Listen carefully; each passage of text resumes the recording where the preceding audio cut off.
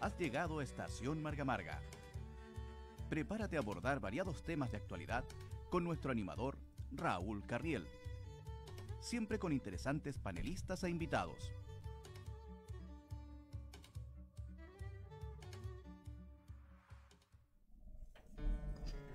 ¿Qué tal amigos? Bienvenidos a Estación Marga Marga, este programa que llega a través de las redes sociales de Marga Marga TV. Ustedes pueden ver, estoy acompañado por Diego Ibáñez. ¿Cómo estás, Diego? Muy bien, Raúl, gracias por la invitación. A ti, gracias, Diego, por haber venido. Eh, hay hartos temas que conversar, ¿cierto? Sobre todo lo que se viene a, a nivel país, pero también yo quería aprovechar la oportunidad para eh, que conversemos y hagas tú una evaluación respecto a cómo ha sido tu primer proceso estando en el Congreso.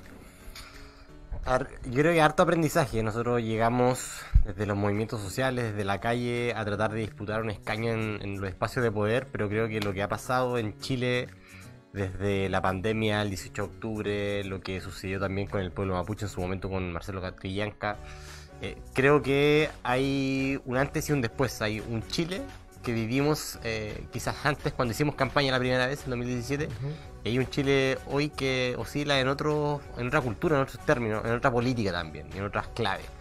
Y aprender em, a, trabajar dentro del Congreso en este contexto ha sido súper enriquecedor ha sido un trabajo colectivo bien grande eh, levantamos lo que fue convergencia social y bueno ahora con este resultado también lo tomamos con harta responsabilidad sobre lo que viene eh, ahora en adelante y, dependerá también mucho de, cómo siga esto según el resultado del 19 de diciembre. Saludamos a todos los amigos que están en Instagram y también en Facebook si están conectando o que quizás viendo la repetición. Tú sabes, Diego, que el internet es así. Quizás alguien lo está viendo el domingo en la noche, anda a saber tú. Eh, es muy distinto el concepto que tenías del Congreso estando dentro desde fuera cuando tú con los movimientos sociales estabas tratando de plantear temas, acercando a la comunidad, eh, llegar adentro de otra cosa. Cacha que lo primero que, que, pensé cuando llegué fue esto igual que una sala de clases, porque todos se gritan de un lado a otro, está todo súper desordenado, uno piensa que a veces es un poco más, más diplomático el asunto adentro más formal y la verdad es que te dais cuenta de que en realidad los círculos de poder muchas veces funcionan como un tigre de papel, donde la gente cree que la gente que cree las políticas públicas son unos técnicos con mucha experiencia y la verdad que no es así. Y, yo creo que desde allí que nos ha picado un poquito el bicho eh, para ir más allá todavía y tratar de nosotros mismos hacernos cargo de la política pública y construir una mayoría dentro del Congreso. Yo esa es como mi primera impresión. Eh, no es tan duro como se ve eh, desde el punto de vista de, del ejercicio del poder eh, y de la legitimidad de quienes deberían tomar las decisiones por, el resto de, todas y todos los ciudadanos. Entonces, eh, allí te vas dando cuenta de que hay una pequeña elite súper chiquitita que no llega arriba por mérito, sino por herencia, por apellido, por riqueza. Y creo que eso es lo que se tiene que empezar a, a digregar en el Chile mañana. Oye, Diego, hay ciertas votaciones que fueron últimamente bien cuestionada, más, más por la presión social, los retiros de la FP, eh, con las crisis que se abrió después del movimiento de octubre, ¿cierto? Eh, ¿Era incómodo estar ahí? En, esos en esos momentos cuando tú sentías que la gente quería más reivindicaciones y como que eh, tanto la dirección del gobierno como que parecía ausente en cierto momento y daba la impresión en cierto momento, Diego, que el bueno, algunos columnistas lo dijeron, que el Congreso era quien estaba gobernando. Y ciertos sectores salieron a decir que este era un pequeño golpe de Estado, etcétera, y cuánta cosa. Sí, yo creo nunca pensé que nosotros éramos quienes estamos gobernando. De hecho, me, me daba la impresión en los momentos más álgidos de, de la crisis de que la verdad es que valía absolutamente nada el poder de un parlamentario en el marco de la crisis que estamos viviendo efectivamente se necesitaba un espacio mucho más soberano, mucho más democrático, que subvirtiera eh, el, desorden que había, porque no era un orden político, había un desorden político, todavía lo existe, y de allí nace la Convención Constitucional. Y mi impresión, recuerdo que lo comentaba con algunos parlamentarios, era, eh, pucha que es penca ser parlamentario, derechamente, porque no tenéis el poder la gente cree que tienes el poder para cambiar las cosas, para mover las perillas, para, transformar la realidad, política al menos, y no los tienes. porque las facultades hiperpresidenciales que te da esta especie de monarquía republicana solamente se las da una persona. Y esa persona se llama Sebastián Piñera. Y no quería irse y no, no quiso, digamos, dar nada que no fuese una concesión propia de los movimientos sociales que se ganaron su espacio. Y, y esa, esa reflexión nunca se me va a olvidar. Como, finalmente fue ¿para qué estamos? ¿Para qué existimos si no podemos ni detener la violencia en las calles, ni eh, pedir justicia, ni garantizar eh, las leyes sociales mediante alguna ley un derecho que nosotros propongamos porque no teníamos facultades presupuestarias, ni tributarias, ni de distribución de poder, porque todo está amarrado por la constitución. Entonces ahí nosotros reflexionamos y dijimos, ya, ok, esta pelea es un poco más larga, somos parte de una fuerza política y social nueva que tiene que ir avanzando en el tiempo y, y por ahora tratemos de enfocarnos en los puntos concretos que destraben un poco el conflicto. Y las crisis que habían en tanto el régimen, el gobierno, la misma Cámara, también pasó un poco al, conglomerado que tú militas. Habían ciertas divisiones, había conflictos, contradicciones, porque eran momentos difíciles donde no sé si había una dirección clara de qué es lo que había que hacer. Yo creo que eh, lo que pasó nos unió. ¿Ya? Evidentemente estamos en política y todos tienen lecturas distintas respecto de qué es lo que hay que empujar un poco más allá, un poco más acá. El mismo acuerdo el 15 de noviembre, cuando Gabriel Boric firmó y nuestro partido no lo firmó, etcétera. Son fricciones que son propias de procesos sociales calurosos. Cuando estáis arriba de la ola y arriba de la ola este, estáis moviendo, Hay turbulencias, hay marejadas y, y, naturalmente vaya a tener fricciones. Ahora, lo importante es que siempre nos mantuvimos unidos como bloque y y de otra manera iba a ser imposible construir una mayoría que le hiciera frente a Sebastián Piñera. Ahora, eh, gran, y hay que decirlo, gran parte de las cosas que sucedieron no fue porque la élite, ni, ni, los parlamentarios, ni los partidos políticos se pusieron de acuerdo, fue porque hubo una presión social y una mayoría fuera de los márgenes de la política tradicional que obligó a tomar decisiones. Y, y esas decisiones, digamos, eh, veremos si es que serán las correctas. Me da la impresión de que el camino que se estaba cimentando para tener la nueva constitución es el único camino posible y el viable en su momento para eh, poder haber eh, transformado las condiciones en las cuales se reproducía el poder. Y allí creo que, la historia dirá mucho también de lo que pasa el 19 de diciembre. ¿Tú sientes que eh, de alguna forma eso llegó a las personas? ¿Esa, conexión existió? No, no, no, no, no. ¿No? yo creo que quizás amplificaste tu discurso, llegaste un poco más allá, pero decir que llegó a las personas como una regla general, yo creo que no.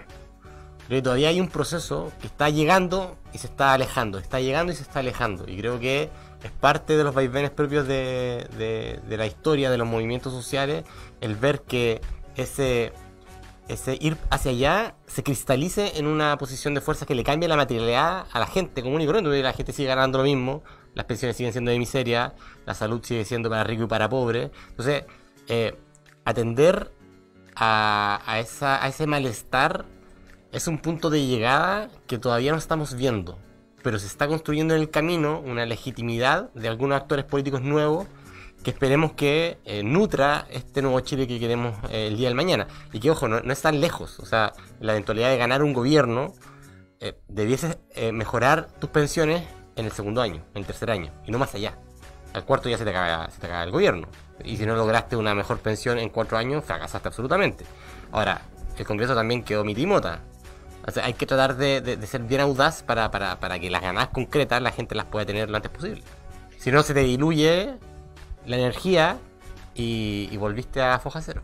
Oye, yo me recuerdo, no sé, que no usaban corbata, que los molestaban para que fueran más formales, ciertos congresistas, por decirlo así. Eh, pero también está lo otro que la gente estaba como cortando y armaba toda una bolsa decía, los políticos, no queremos a los políticos. Y tú estando ahí, ¿cómo, cómo sentías eso? Tratando de incorporar cambios, reformas, eh, el tema de las bajas los sueldos a, los parlamentarios, que es un tema que ha estado hace mucho tiempo entre su Jojo Jackson y otros siempre postulándolo eh, ¿Cómo te sentía estar ahí en ese momento cuando la gente decía no queremos nada más con los políticos? Yo soy un político. ¿Cómo era eso?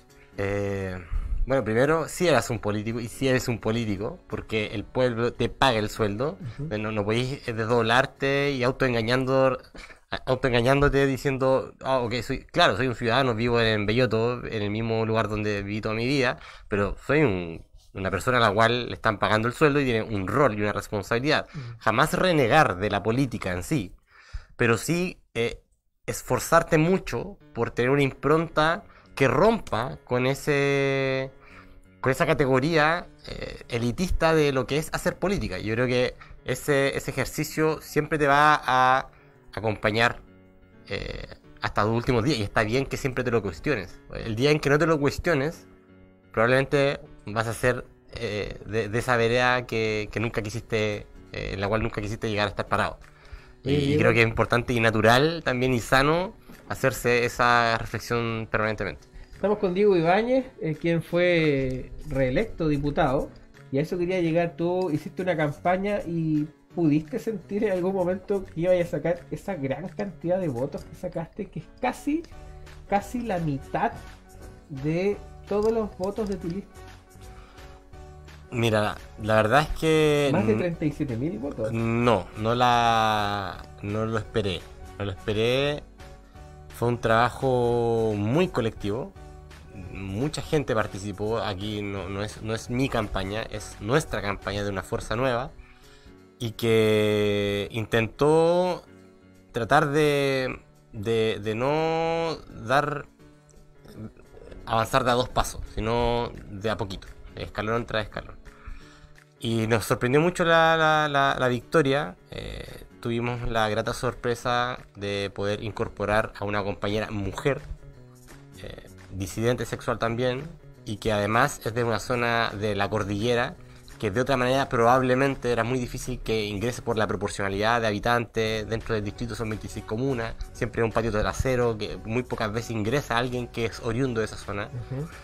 Y eso nos alegra mucho y, lo tomamos, por supuesto, con la mayor responsabilidad y compromiso de seguir eh, tratando de hacer las cosas de forma transparente y, siempre horizontal con la gente. ¿Pero estaba la noción de que iba a sacar tantos votos? ¿Un approach? ¿Algo? Mm, mira, nosotros, eh, evidentemente, cada equipo tiene su cálculo y tiene su forma de estudiar las cosas. Yo cálculo desquiciado antes, con distintas personas. Todos sacaban números y yo los quedaba mirando pensando, pero cuando uno ve tu número, es muy alto. Entonces, ¿alguna sensación tienes que No, yo creo que no. Yo creo que a, mí me sorprendió. O sea, el número que nosotros estimábamos eh, era menos que eso, eh, naturalmente. Y, creo que ahora hay que tratar de hacer las cosas bien porque mayor responsabilidad tienen en tus hombros para tratar de, de hacer las cosas bien y por tanto más fiscalización ciudadana también va a haber a tu trabajo. Esto no es ninguna no hay ningún voto de confianza cerrado. Las confianzas se renuevan permanentemente y tú tienes que justificar el que la gente haya votado bien. Y tenéis que responderle al pueblo. Y tenéis que luchar por el pueblo. Y no tenéis que darle la espalda a tus vecinos. Y eso va a ser siempre una, una mm, reflexión que, que como equipo, como colectivo, siempre nos vamos a hacer. O al menos nos vamos a preocupar de que la gente esté satisfecha por habernos dado la confianza. Oye, Diego, eh, tú participaste el día sábado, me parece, ¿cierto? De un hito donde se juntó eh, el, gobernador Mondaca y el intendente. El gobernador Mondaca, ¿cierto? Alguna alcaldesa, tú, y donde eh, se hizo un acto político-cultural, por decirlo así, pro la presidencia de Boric. Cuéntanos un poco de aquello.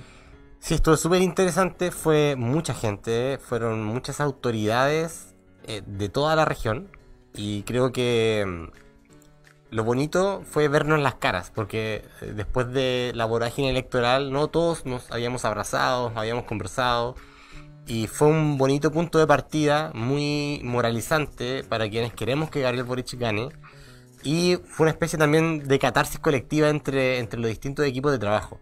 Ahora, eh, eso debe proyectarse en el futuro, debe convertirse en trabajo territorial efectivo y no basta la pura fotito y el discurso bonito y hablar entre los convencidos, sino que hay que salir a convencer a quienes no están convencidos por nosotros y esa es la, principal labor que tenemos de ahora en adelante y se ve, hay solo dos semanitas y media, no queda mucho más, es súper corto el, el tiempo y estamos ahí buscando las estrategias para también llegar a quienes eh, legítimamente no optaron por nosotros, votaron eh, otra, otra opción dentro de la papeleta, pero que están muy expectantes de qué cuáles son nuestras propuestas, en, en, qué momento dialogamos con esos mundos. Nosotros estamos muy abiertos a construir puentes con quienes no piensan como nosotros, a ir complementando el programa en ciertos puntos claves que, por ejemplo, los votantes de París sí podrían interesarles lo que es la responsabilidad fiscal o la anticorrupción o finalmente la rebaja a los sueldos parlamentarios, que hoy hicimos también una renovación del compromiso de eh, bajar eh, los altos sueldos que hoy tienen todas las autoridades políticas.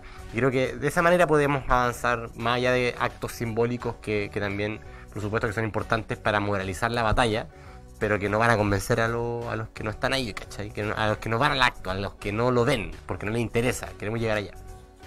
Oye, Diego, cuando uno ve eh, los programas de los candidatos son bien distintos. Yo no sé si las personas ven los programas. las, las, políticas que quiere impulsar cada candidato se quedan más con la imagen, con el eslogan, con, o con todo lo que hay alrededor. Pero tú, ¿dónde señalarías las diferencias más grandes que existen entre el programa de Gabriel y el programa de José?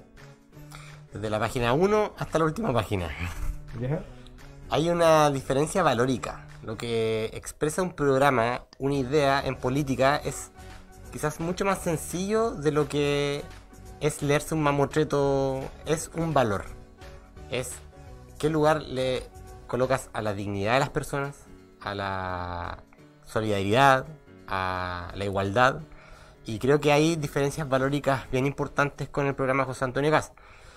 Cuando hablamos de derechos humanos, cuando hablamos de educación, de la autonomía progresiva de la niñez, cuando hablamos de los derechos de las mujeres y las disidencias sexuales, tenemos diferencias que son eh, sustantivas. Cuando hablamos de que nosotros queremos una justicia y equidad tributaria y por el otro lado nos dicen que les van a bajar los impuestos a los súper ricos, ahí creemos que tenemos visiones muy distintas. Y eso es lo, es lo interesante y también lo bonito de esta elección, desde el punto de vista estético, de que probablemente nunca antes, en 30 años en Chile, habían existido dos horizontes distintos de sociedades tan nítidos en la papeleta. Hoy tú tienes, y, y no significa, ojo, que sean dos extremos, significa que son dos horizontes distintos.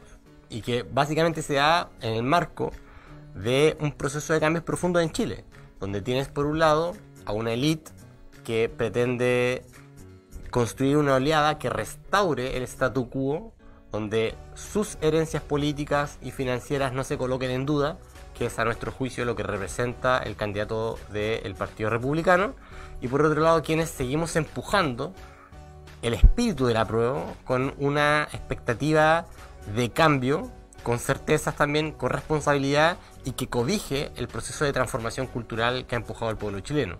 Creo que esos son los dos horizontes que a mi juicio están en juego y al medio hay un abismo también bien grande, pero que nosotros siempre, siempre vamos a estar por dialogar por quienes no piensan como nosotros y por tanto construir los puentes necesarios para poder construir un país mejor, que eso, de, eso se trata la política finalmente. ¿Tú sientes que la votación del apruebo eh, encausó el malestar de las personas y el espíritu de cambio a través de esta votación y la, constituyente que existe?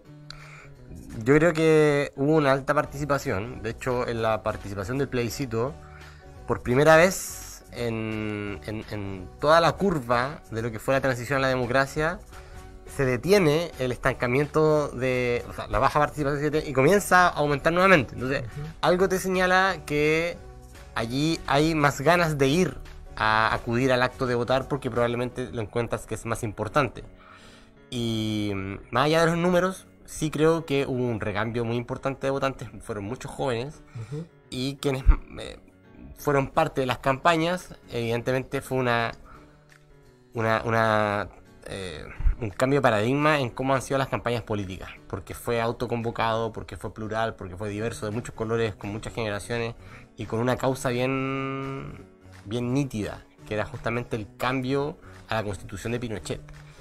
Eso quizás podríamos emularlo con el plebiscito del sí y el no del 89, del 88. Pero, pero creo que ese espíritu hoy todavía está en juego. Y es, es, un espíritu que tiene que ir en permanente renovación. Y esperemos que el 19 de diciembre también se manifieste con fuerza y se pueda proyectar en el tiempo. ¿Cómo te tomas tú o cómo analizas tú esta eh, propaganda anticonstituyente, esta acervación casi tildando de lo peor del mundo al comunismo? Y por último, que la zona de influencia del Partido Comunista dentro de su conglomerado es casi omnipotente y que todo lo que están ahí son siervos de aquello y que tienen ellos un plan siniestro o un plan, eh, no sé, por instaurar acá una república socialista o llegar al comunismo. Porque hay una descripción eh, casi gráfica cuando se plantean esta... O sea, eh, la totalidad de la descripción que te acabo de hacer está muy presente desde el primer día de la prueba, por el rechazo, pero hoy día más cuando hay una candidatura como la de Gabriel que podría darse que gente que siempre ha perdido votando por un presidente hoy día elija por primera vez un presidente. Creo que hay a quienes en los debates se le acaban las ideas y les conviene construir antagonismos como si estuviéramos en la Guerra Fría. Y les conviene construir una Guerra Fría mediática para tocar las teclas de los miedos históricos también de un pueblo, de una nación. Y eso es lo que están haciendo cuando intentan colocar por delante el fantasma de lo que fue Allende, la Unidad Popular, eh, el, comunismo, el desenlace que tuvo, la, guerra civil, etc. Yo creo que entran con, con, lo que se llama la, la clásica doctrina del shock, que intentar machacar, machacar con ciertos conceptos, con ciertas fake news cuando fue...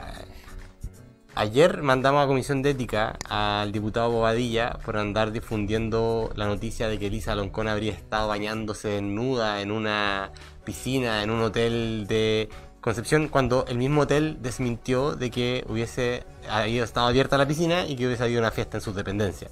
Entonces, cuando tú tienes personas que están pagadas con los impuestos de todas y todos los chilenos fabricando noticias falsas, construyendo, compartiendo una visión que es absolutamente eh, distorsionada de la realidad y que es una mentira y que comienzan a repetirla y a machacar, tú ves que entonces, ah, ok, hay una organización detrás de esto porque están todos saliendo a decir lo mismo, hay minutos incluso pagadas por eh, ministerios del gobierno que se difunden por los grupos de WhatsApp de los propios parlamentarios.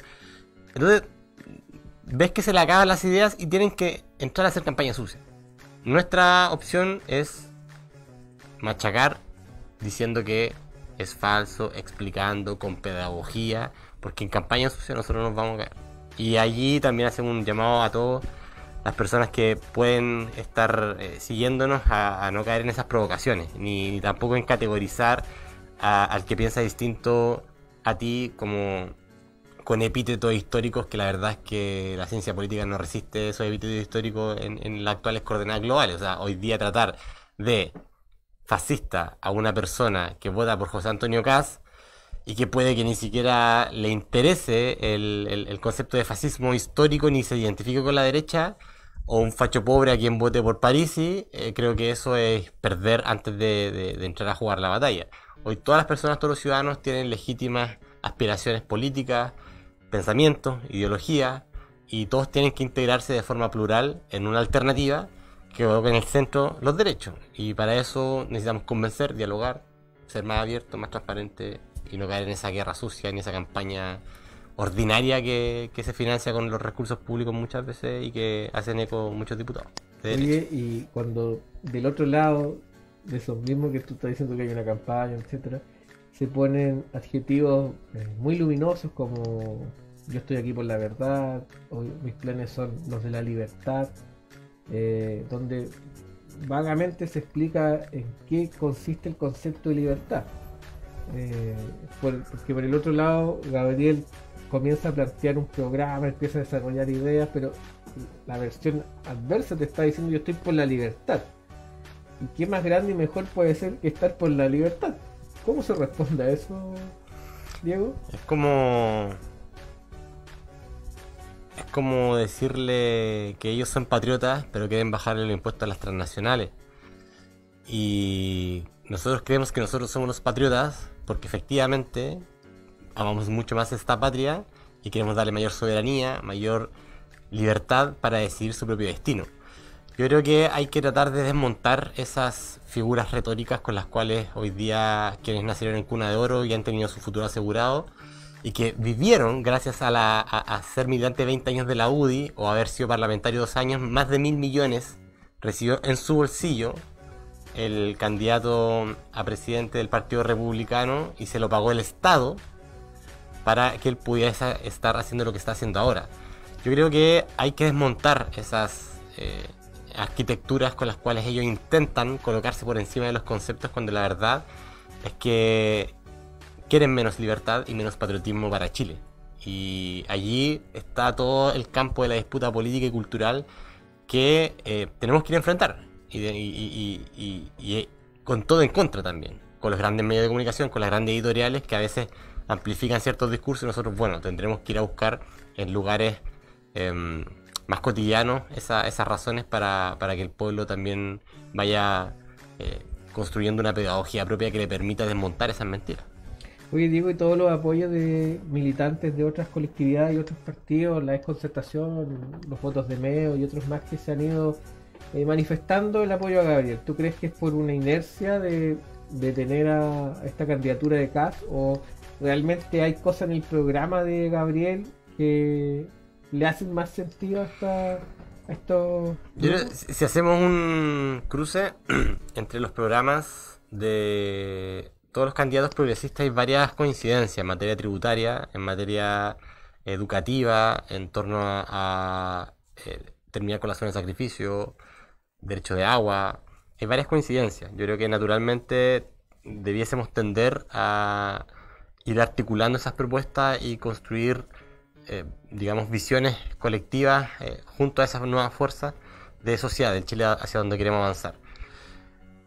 También tiene que ver con que al frente tienes alguien que es demasiado distinto a ti, que está en las antípodas de tu pensamiento. Y eso también une. Ahora, yo espero que nos unamos también eh, en favor de algo y no solamente en contra de algo, porque unirse en contra de algo siempre sale mal. Esa es una unidad que, que es muy forzada.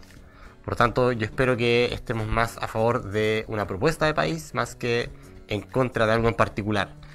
Ahora bien, en este caso, claro, hay, hay hartas cosas que están en riesgo, que es básicamente muchos principios y mínimos civilizatorios que teníamos un poco más zanjados como sociedad y que hoy se están colocando en duda, porque hay un candidato que sí está colocando en duda, por ejemplo, la libertad de quienes piensan distinto a él, mediante una persecución ideológica a quienes justamente están en la vereda al frente. Y creo que ello también es parte del, cuadro político que hoy, está construyéndose en Chile.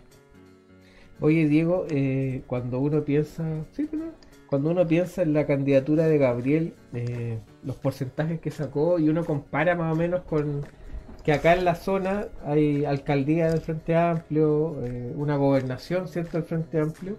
Uno esperaría que aquellas votaciones fueran eh, muy altas.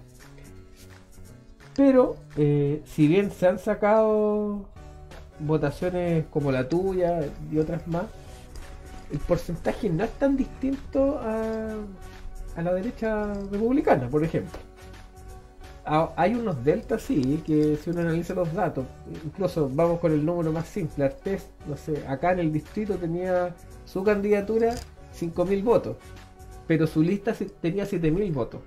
Y lo mismo pasa con todos los candidatos más o menos, incluso con Gabriel, tenía menos votos que, que la suma de las listas. ¿Sientes tú que falta todavía conectar más con las personas del sector? ¿De las comunas acá?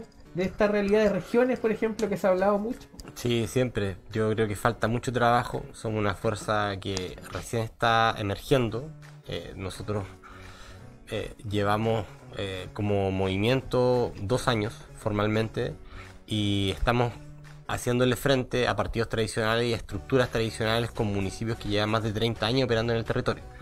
Con obviamente un ala clientelar por un lado, un ala de efectivo desarrollo social y territorial confianzas que se construyeron en base a años, a décadas de liderazgo de trabajo y nosotros estamos recién comenzando, por tanto nos queda mucho por avanzar. Estamos, somos una fuerza nueva, joven, que emerge eh, hace eh, con, los flujos de los últimos movimientos sociales y por supuesto que tenemos que hacer un trabajo tremendo porque la historia no empezó con nosotros.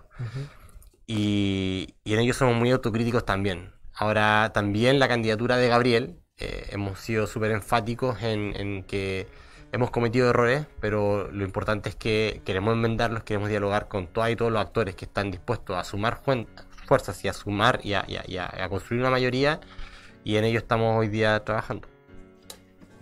Se nos ha pasado el tiempo rapidito, pero yo quiero preguntarte cuál es tu pronóstico para aquel día que para, para muchos se acaba el país, para otros eh, se abren nuevos tiempos. ¿Tú sientes que la candidatura de Gabriel va por buen puerto y que se va a elegir presidente? Yo creo que tengo la certeza de que estamos haciendo todos los esfuerzos por tratar de tener un resultado favorable. Lo que decía el pueblo chileno lo sabrá la historia valorar. Esperemos que gane la esperanza contra el miedo, esperemos que gane la libertad contra la restricción de las libertades y que gane la tolerancia y el respeto y el diálogo sobre todo. Estamos trabajando por ello, no me atrevería a decir un, un resultado en porcentaje, pero tengo toda la expectativa de que vamos a ganar esta elección y que vamos a generar un cambio y un vuelco en cómo se ha entendido la cultura política presidencial e hiperpresidencialista que hemos tenido los últimos 30 años. Y eso esperemos que en algún momento el pueblo lo palpe para que también al, al vivir la experiencia de la política de una manera eh, diversa, podamos entender lo importante que era. Hoy hay más de un 50% de la gente que no vota, porque no le interesa. Porque dice, mañana tengo que trabajar igual, tengo Esa que, súper. Tengo que eh, parar la olla igual, ningún político me va a ayudar. Claro, efectivamente ningún político va a ir a pagarle la olla ni eh, pagarle un sueldo por no trabajar.